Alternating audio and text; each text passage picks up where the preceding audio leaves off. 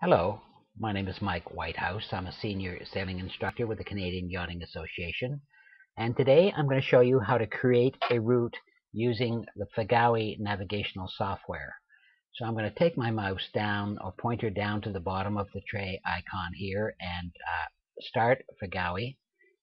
Uh, this is the Fugawi ENC Marine. Uh, it opens with the chart that I closed or exited uh, from the program with, which was chart 4237 approaches to Halifax Harbor. I'm zoomed in right now, so I'm going to go up to the top and I'm going to click zoom out and uh, I'll click zoom out again. And I already have the hand selected, so I can uh, click and hold down my left mouse button and I can actually drag the chart around. So I'm going to drag it, drag it uh, to this point and then I'm going to go up and I'm going to zoom in one click. Uh, before I start the exercise. So what I want to do is I want to create a route and I go over to the uh, left hand uh, tray icons here and I see one that says RTE. It's two waypoints with a line joining them which is the Fugawi symbol for route. And you'll notice that this uh, icon has a little drop down arrow to the right of it. I'm going to click on that and I get two choices, either edit route points or draw route. I'm going to click on the draw route, and you'll notice that my mouse pointer is changed to a pencil with a little um, line, route line underneath the pencil and that is Fugawi's pointer indicating that you are in the draw route mode. I'll go up and I'll start my route um, just uh, east of Mars Rock here and I start the route by uh, left clicking on the mouse once.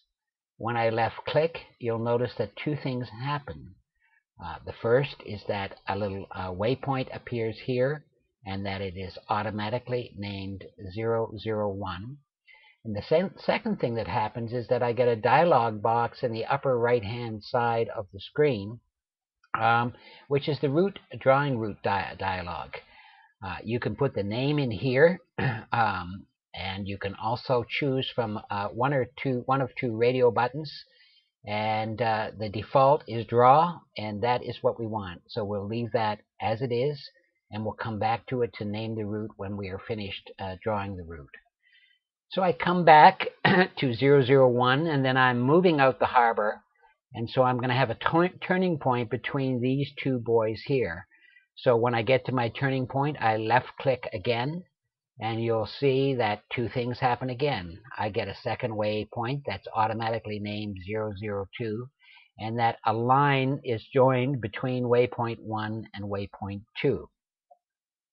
I'll move uh, out the harbor a little further to the next uh, turning point, and I'll left click again, and you can see that I've got uh, waypoint number 3, or turning point uh, number 3 there.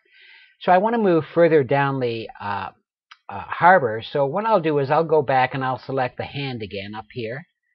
And I'll come back and I'll hold down my left mouse button and uh, move my mouse up, which in turn will drag the chart up. And then I'll go back and select the route icon again. And I'll come back out to this buoy here, which is Halifax Charlie. It's a fairway buoy. And I'll left click again. And I'm going to go around this buoy I'll move over here, left click again for waypoint number five, and I'll come up and I'm going to finish um, this route just south of this south cardinal buoy uh, here. And I'm going to left click and that will put in waypoint number six. So uh, I'll now select the hand again and I'll zoom out once so we can see the whole route. And um, what I'll do now is I'll go over to the route um, dialog box up here and I'll click in that box where it says new route and I'll highlight new route and hit the delete button on my keyboard. Uh, or you can just uh, put the cursor in there and you can backspace like this and then put in the name of your new route and I'm going to call it uh, test route number one. And when that is done you simply click on the Done button and uh, your route has been saved. I'll select the hand again and I'll come back up here uh, and to the tray icons on top, and you'll notice that when you come up to that, uh, it will say Display Route Library. So, and it also has the route uh, symbol on it, the Fugawi route symbol on it. So you left click that, and you'll notice that a dialog box will open. And in that dialog box uh, is highlighted test route number one. It's the route that we just created. And you can see that it has six waypoints and that the di total distance for that route is 6.6 nautical miles and that it is listed as being, being visible, which means that we can see the route. Now, if you were to right click on this blue area here of test route number one, you would get some choices. And if you slid your mouse down till you got to the word hide and then left clicked on hide, you can see that the route um, went invisible. It's still there, but it's no longer visible on the chart. If I want to bring it back up again, I highlight the name of the route, right click, and then come down and left click on show, and you can see that the route uh, shows again. Now another interesting thing is if I go to the uh, test route number one and I double click, click twice on the left mouse button, uh, something interesting happens. I get this uh, new dialog box here, and the new dialog box uh, shows you all of the six waypoints. It gives you the position, the latitude and longitude of each of the waypoint, and it gives you the course in degrees true uh, to each buoy and also the distance between the buoys.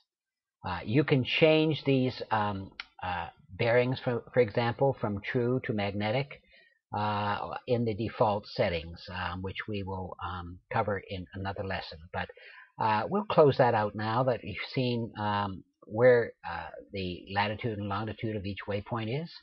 And we'll close out the route library also. So that is our lesson on creating a route in Fugawi. I'd like to thank you for joining us today. And uh, we'll see you again at um, another one of our lessons. Thank you very much. This is Mike Whitehouse saying goodbye.